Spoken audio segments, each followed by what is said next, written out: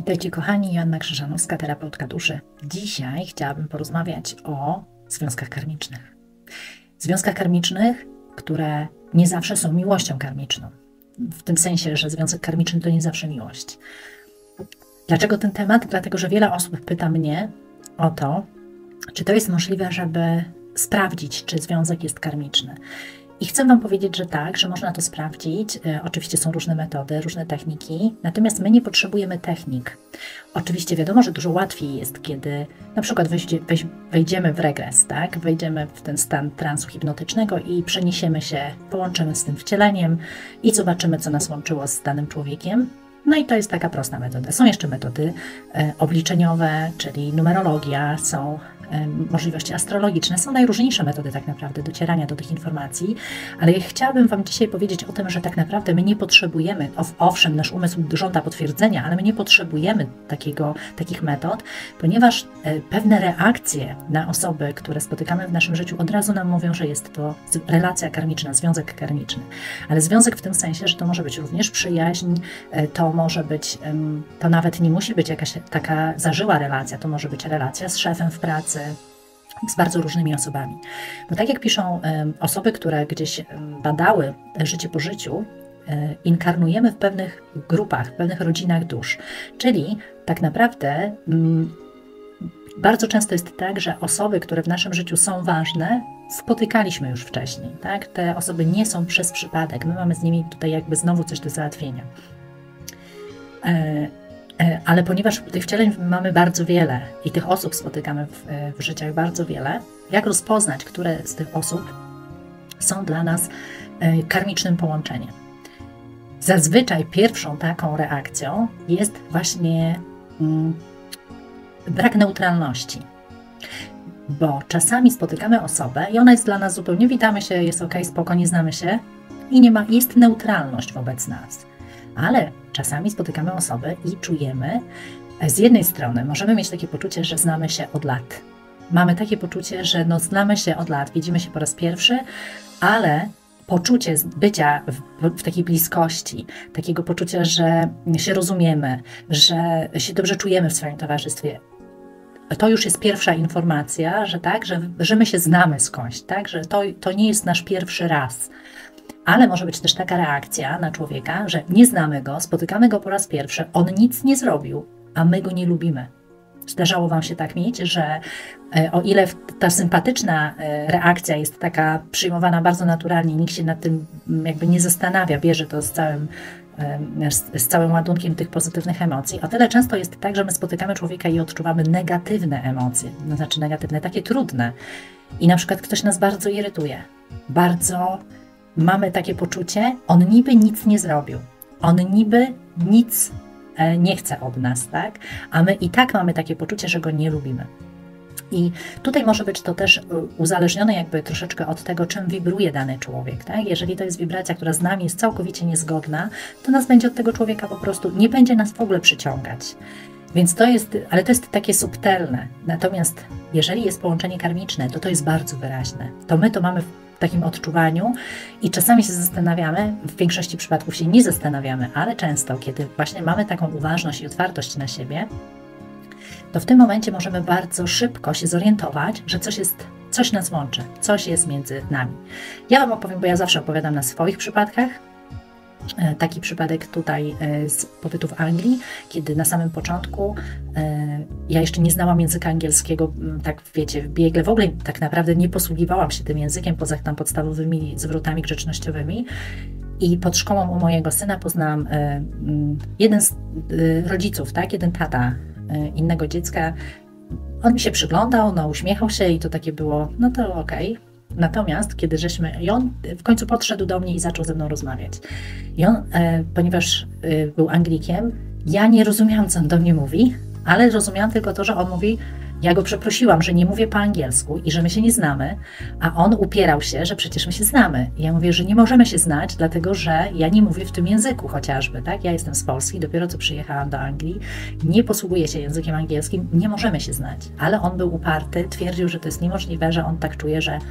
Wiecie, w pierwszym momencie ja sobie pomyślałam, że to taki dobry bajer na podryw, ale Ponieważ ta nasza znajomość się przedłużyła, przedłużała, tak? Poznaliśmy się lepiej, spotykaliśmy się, zaprzyjaźniliśmy się, nasze dzieci e, chodziły do tego samego after school clubu, więc myśmy mieli okazję ze sobą się gdzieś tam e, bliżej poznać.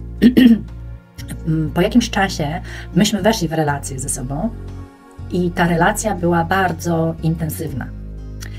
I to jest kolejna cecha karmicznych relacji. Tak? Tylko nie mylmy, te karmiczne relacje to zazwyczaj są relacje, które mają uzdrowić coś, co nie zostało dokończone, co nie zostało uzdrowione, co nie zostało zrozumiane. To jest tak jakby dostanie do kolejnej szansy na odrobienie pewnej lekcji. I wcale nie musi się to łączyć, a czasami ja mam takie poczucie, moi klienci zadają mi to pytanie i oczekują, że związek karmiczny to jest związek bajkowy, że to jest związek, e, bo tam jest takie poczucie pełni połączenia, takiej totalnej bliskości, takiego zjednoczenia, rozumienia się bez słów. Ale to nie, związek karmiczny nie zawsze może tak być, że przerodzi się w e, piękną relację i ta relacja faktycznie będzie e, bajkowa, natomiast Zazwyczaj związek karmiczny ma na celu wyciągnąć z nas i uzdrowić to, co nieuzdrowione. Jest trudny. Ta relacja jest trudna. I ludzie są sfrustrowani. Znalazłam takiego cudownego partnera, taką moją duszę tutaj bliską mi. E, mylą pojęcie tych bliźniaczych płomieni, tak? E, natomiast związek karmiczny ma na celu, mm, nie chcę powiedzieć przeoranie nas, ale trochę tak jest tak? Więc jeżeli w takich związkach się dzieje trudno, to tam się ma ewidentnie zadziać coś, co nie zostało dokończone. Tak, jakieś emocje, jakieś przekonania, jakieś programy. Tam jest dużo do pracy.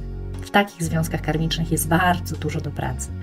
No i teraz e, ta nasza relacja się właśnie e, rozwijała i wiecie, ja w pierwszym momencie ja tego nie odczułam. On był mi bliski, tak? A on, e, jakby weszłam z nim w niezwykłe połączenie, ponieważ nie mówiąc po angielsku, ja się z nim doskonale komunikowałam, co już było dla mnie sygnałem, że tutaj coś jest na rzeczy, tak? Bo jeżeli e, my nie rozumiemy swoich języków nawzajem, a mimo to doskonale się rozumiemy, no to już jakby dla mnie był sygnał, że faktycznie. I ja sobie weszłam w mój proces, tak, połączyłam się z energią tego wcielenia, zobaczyłam wcielenie, w którym on był moim ojcem. I ta miłość, którą tam zobaczyłam, to była miłość, której nigdy nie doświadczyłam tutaj w tym wcieleniu. Ja nie znałam takiego uczucia, tak intensywnego, tak.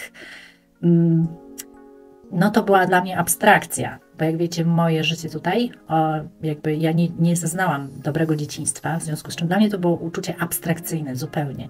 I to było tak piękne doświadczenie y, przeżycia, czyli połączenia się z energią tamtego wcielenia, że w moim sercu to zapadło do dzisiaj. Mam wspomnienie tej, tej, tej miłości, którą tam odczułam. Natomiast on umarł. On umarł, kiedy ja byłam, byłam dwunastolatką w tamtym wcieleniu jako mój ojciec zawał serca. I mam takie poczucie, że ten człowiek potrzebuje nadrobić ten stracony, to znaczy ten czas, którego nie mógł mi dać, i on się tutaj mną opiekuje. Myśmy z relacji wyszli, ale do dzisiaj jesteśmy przyjaciółmi, do dzisiaj on się mną opiekuje, on się mną zajmuje. I to jest tak silne w nim, że czego ja, wiecie, on mnie traktuje trochę jak córkę, pomimo tego, że między nami jest bardzo niewielka różnica e, wieku, on mnie traktuje jak córkę i gdybym nawet narozrabiała, on mi jest w stanie, on mnie traktuje jak córkę po prostu. I, I, wiecie, żeby było śmieszniej, ponieważ ja do dzisiaj nie prowadzę jeszcze sesji po angielsku, dlatego że zasób słów w sesji ja muszę zrozumieć każde znaczenie pojedynczego słowa bardzo dokładnie, tak głęboko, bo każde słowo może mieć znaczenie. W związku z czym ja sesji po angielsku nie robię, bo mój angielski jest za słaby e, na to. E, ja zadałam, bo on się mnie pytał, tak? On jest dosyć otwarty na duchowość, otwarty na, mm, na taką przestrzeń e, gdzieś poza, po, poza rozumem, tym takim klasycznym. I on mi zadał pytanie, kim byliśmy dla siebie. Ja mu nigdy nie zdradziłam tego, co ja zobaczyłam w e, mojej sesji, to znaczy w tym moim procesie. Natomiast poprosiłam go, żeby zadał to pytanie, kim był dla mnie i wrzucił tak jakby we wszechświat, żeby się nie zastanawiał nad tym, tylko zadał pytanie i zostawił i poczekał na odpowiedź. I wiecie, że on po tygodniu już przyszedł i powiedział mi, że był moim tatą. I to było niezwykłe dla mnie potwierdzenie, że tak naprawdę te informacje, my jesteśmy w nich zanurzeni. I kiedy jesteśmy odpowiednio otwarci albo wrażliwi na siebie, na przepływ i rozumiemy te informacje, które przepływają, bo my jesteśmy cały czas tak naprawdę zanurzeni w polu te, takim informacyjnym, tak? Ktoś, ta nomenklatura kronika kaszy na przykład, tak? to jest właśnie to pole informacyjne, w którym my wszyscy jesteśmy zanurzeni i do którego my wszyscy mamy dostęp. W związku z czym, jeżeli wy chcecie, wiecie, tylko to jest kwestia zaufania do siebie, poznania siebie też.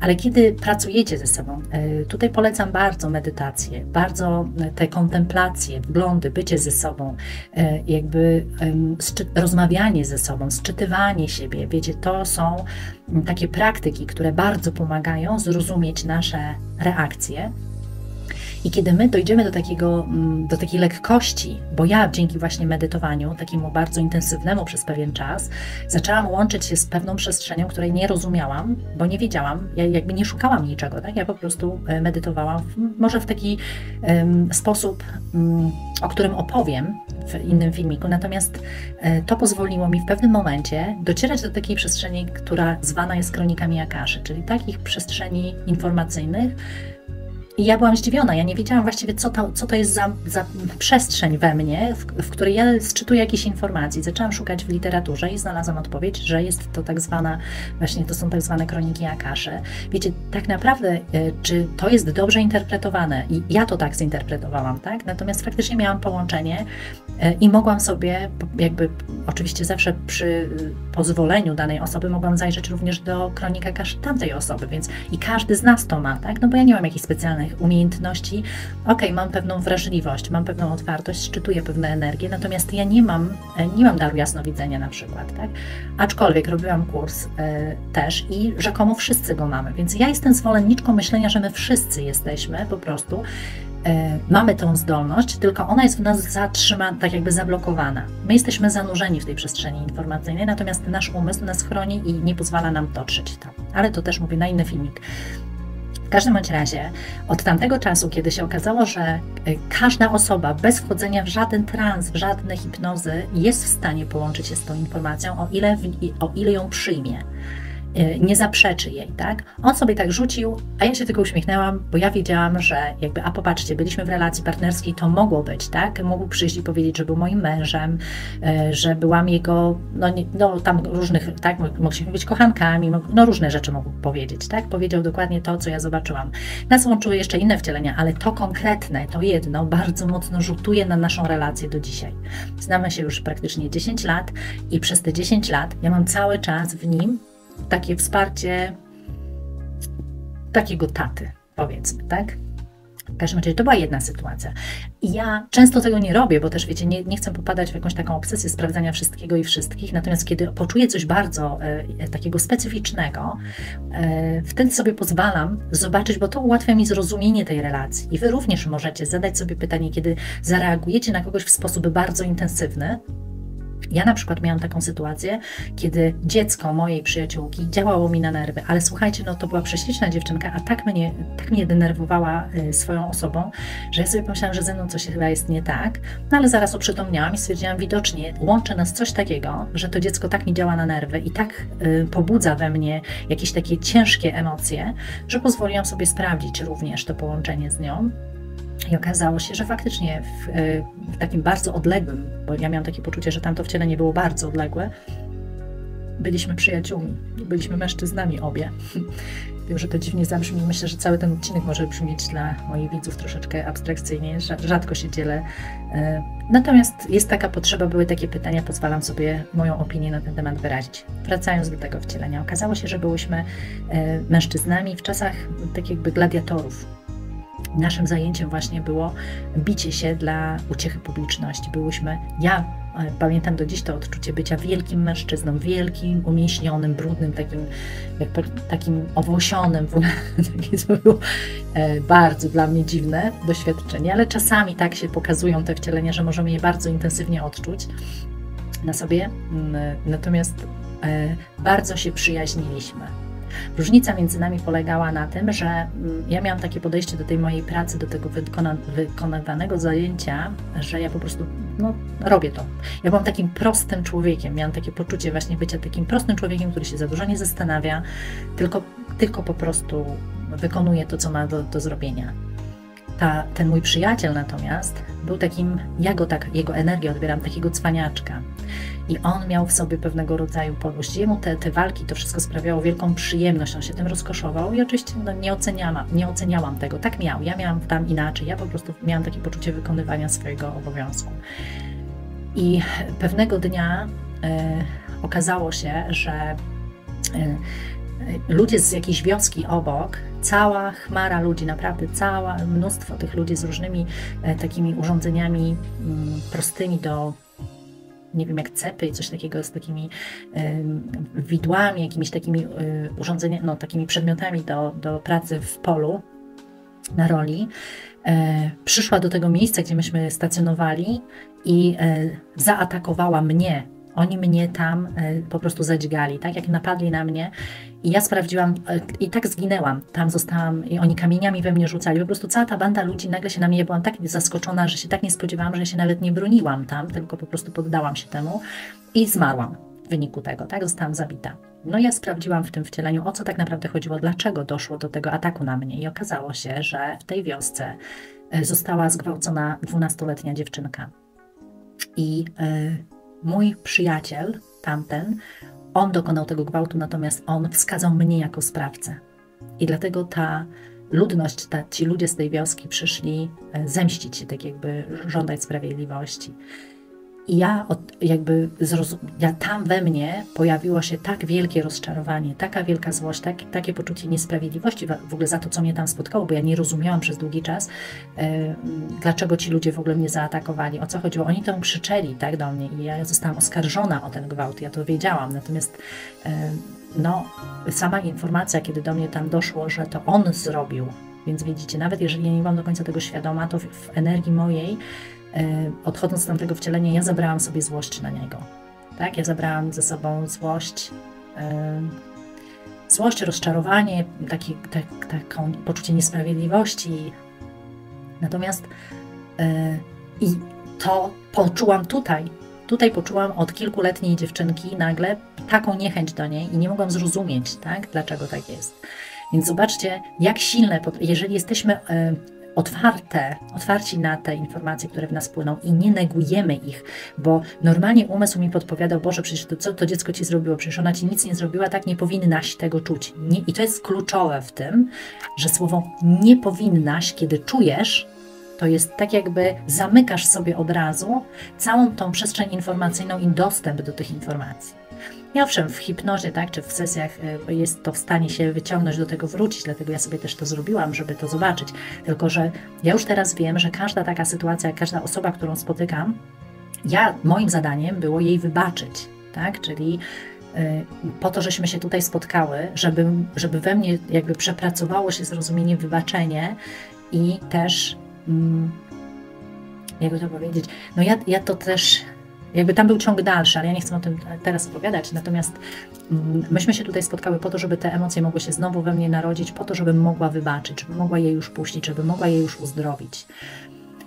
I tak to jest, że z tymi, i kiedy to właśnie we mnie przepracowałam, to nagle ten stosunek do tego dziecka, to dziecko przestało mi działać na nerwy. Przestałam w ogóle ją o cokolwiek, wiecie, jakby ta energia się uwalnia, ona nagle się tak jakby rozpuszcza, dochodzi do zrozumienia, do uwolnienia, do takiej wolności wewnętrznej wtedy, tak?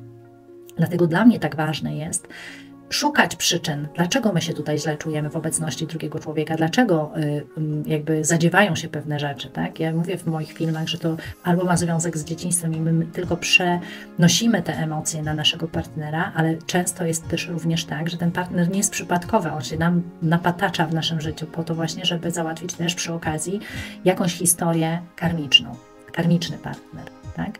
W każdym razie to, była, to był kolejny taki bardzo taki spektakularny moment, w którym właśnie ja posiłkowałam się tym, żeby sprawdzić, kim jest dla mnie ta osoba, ponieważ odczuwałam te emocje tak intensywne i one były nieuzasadnione. I to jest właśnie charakterystyczne dla związków karmicznych, że są jakieś silne emocje, są dziwne skojarzenia, są jakieś takie niezrozumiałe i niewytłumaczalne nasze czy osądy, i warto to w sobie obserwować, nie zamykać się stwierdzeniem, że oj, ja nie w ogóle coś sobie wymyślam, bo jak zaczynamy właśnie e, tak podchodzić, że ja sobie coś wymyślam, to to już jest od razu informacja, że ja sobie właśnie nie wymyślam, że to jestem zanurzona w polu informacyjnym i szczytuję informacje, których mój mózg nie umie dopuścić, bo nie ma uzasadnienia logicznego, natomiast ja czuję. I bardzo często e, klienci w moich sesjach, e, kiedy kończymy sesję, zadają pytanie, Boże, czy ja sobie to wszystko wymyśliłam? Czy to, czy to było naprawdę, czy ja sobie to wymyśliłam? I właśnie w w życiu codziennym nie musimy być w transie, żeby mieć e, możliwość czytania tych informacji, tylko wtedy nasz racjonalny umysł nam mówi: wymyśliłaś to sobie. Kolejną taką sytuacją, którą, o której chciałam Wam powiedzieć, jest też niedawno miałam taką, yy, takie bardzo silne, dziwne odczucie, kiedy tańczyłam, yy, bo ja trenuję taniec kizomba, no lubię tańczyć kizomba i chodzę na te nasze e, i lekcje i, i później te nasze mm, potańcówki, że się to tak nazwę. I zatańczyłam z jednym chłopakiem, z którym znamy się już od jakiegoś czasu. Zawsze mieliśmy dziwne połączenie, bardzo dziwne, takie bardzo bliskie.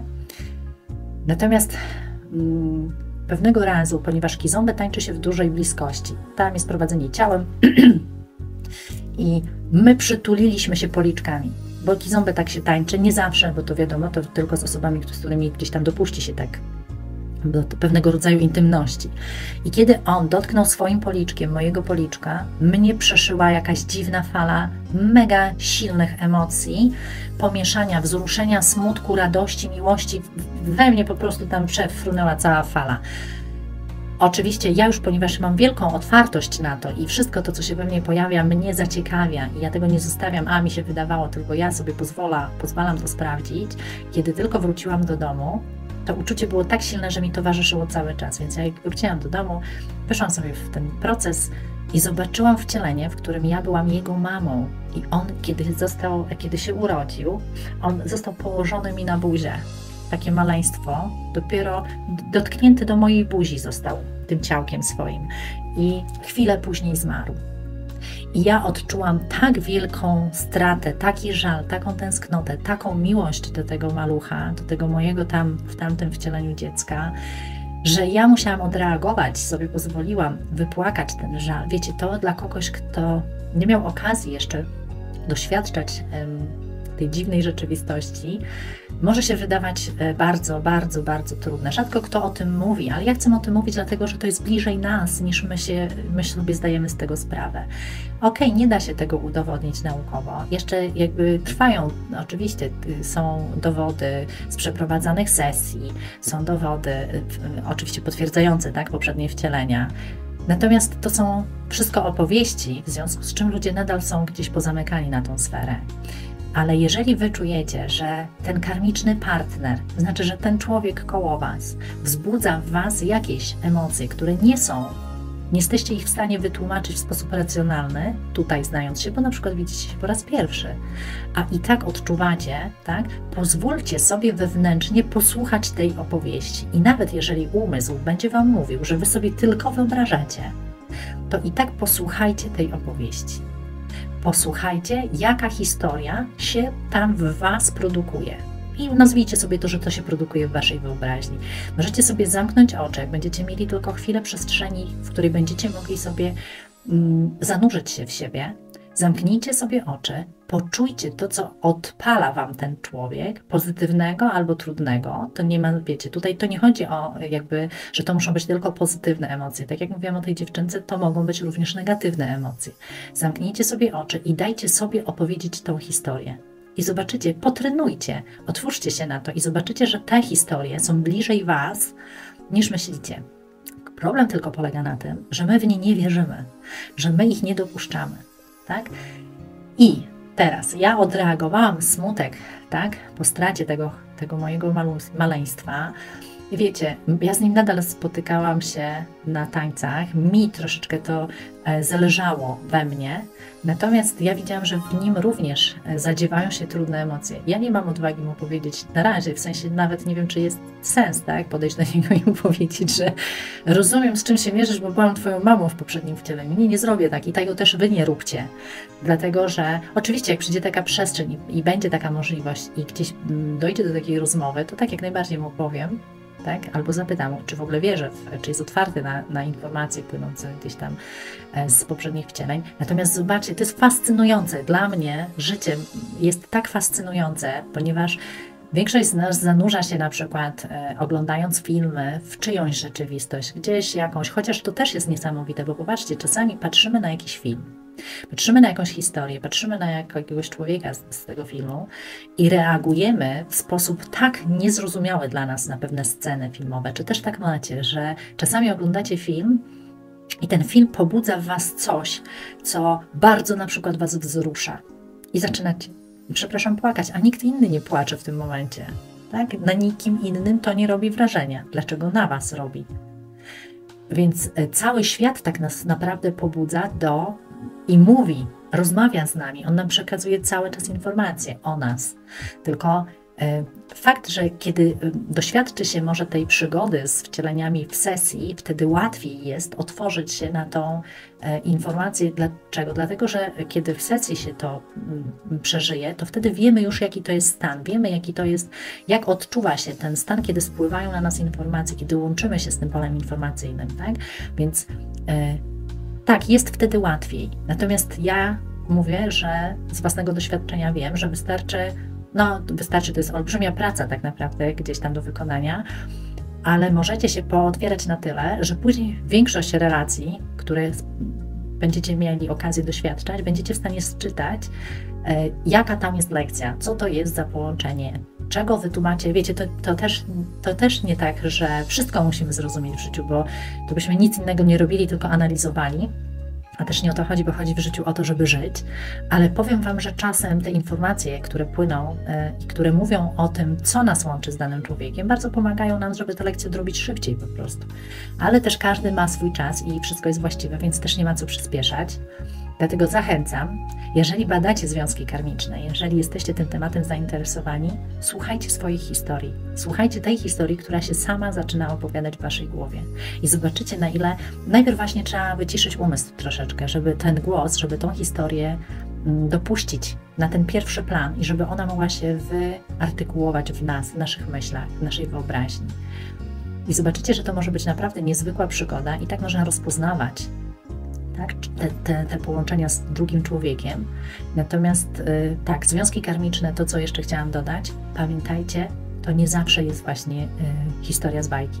Bardzo często historie karmiczne, pojawiają się osoby karmiczne, partnerzy karmiczni, przyjaciele karmiczni, po to, żebyśmy my mogli dokończyć pewną lekcję, albo um, zrozumieć, tak? albo wypuścić to, co zostało w tamtym wcieleniu zablokowane. Bo tak jak ja mówiłam w poprzednim filmiku na temat linii czasowych, natomiast na, to, na, na temat y, punktów zwrotnych, to właśnie to tak jest, że kiedy my czegoś nie dokończymy w danym wcieleniu, to my zabieramy to ze sobą. I ta energia później, my możemy tego nie rozumieć, i bardzo często tak jest, że klienci, którzy przychodzą do mnie, zaczynają tego, ja nie rozumiem, dlaczego tak mam. Ja nie rozumiem, dlaczego to się dzieje. Ja nie rozumiem, e, właśnie. I, I to pytanie, dlaczego, jest taką furtką do tego, żeby szukać odpowiedzi Najpierw oczywiście to pytanie warto sobie zadać, ale mówię, Wy możecie próbować sami też. Ja zachęcam wszystkich też moich klientów do tego, żeby bardziej się otwierali na zaufanie do siebie, na to, na ten głos intuicji, czy jak to zwał, tak zwał, bo każdy to nazywa po swojemu. Natomiast ja Wam mówię, że to jest bliżej niż myślicie. Te informacje, jesteśmy w nich po prostu zanurzeni. I wszystko to, co się gdzieś tam rozgrywa między nami, to jest historia, skądś się bierze. Oczywiście my tworzymy sobie też e, pewnego rodzaju nową karmę, tak? czyli mamy też doświadczenia, które się wydarzają tylko po to, żebyśmy my właśnie mogli z nich tą lekcję wyciągnąć i one mogą nie być powiązane. Nie, nie wszystkie wydarzenia, które się wydarzają, zawsze mają swoje konsekwencje, czy stanowią konsekwencje jakiegoś poprzedniego wcielenia. Natomiast jeżeli chodzi o partnerów i związki karmiczne, to pamiętajcie, to są osoby, z którymi my mamy coś dokończyć, przepracować, zrozumieć, i bardzo często jest też tak, że te osoby znikają z naszego życia, kiedy ten dług karmiczny, albo to zobowiązanie, albo ta lekcja zostanie wypełniona. Tak? To wcale, jak to, jak to jest związek karmiczny, czy relacja karmiczna, wcale nie znaczy, że my musimy e, całe życie ze sobą spędzić, czy całe życie być na siebie skazani. Absolutnie nie. Także to jest, żeby mieć to na uwadze, bo bardzo często moi klienci mylą jakby to pojęcie tak, tego związku karmicznego, że jak związek karmiczny to jest dobry. Oczywiście jest dobry, bo wszystko jest właściwe, natomiast jest trudny.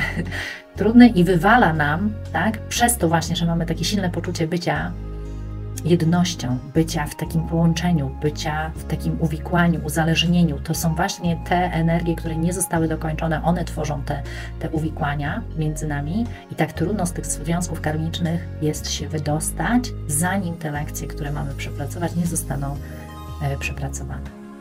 Mam nadzieję, że chociaż trochę rozjaśniłam ten temat. Jeżeli macie jakieś pytania, to piszcie. Ja sobie pozwolę wtedy e, dograć następną, może część, jeżeli będą jakieś pytania. Mam nadzieję, że moje przykłady, te kilka przykładów, bo w moim życiu tego było znacznie więcej, ale te kilka przykładów e, trochę Wam tak rozjaśniło temat.